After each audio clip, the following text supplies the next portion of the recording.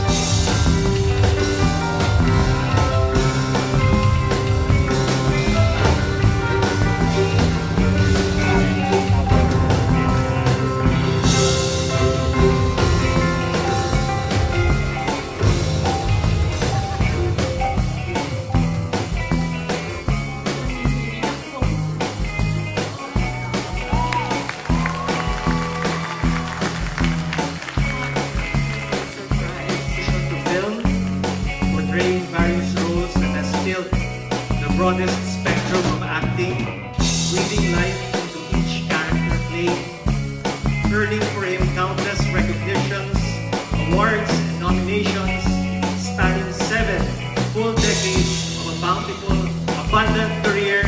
The jury prize goes to Eddie Garcia.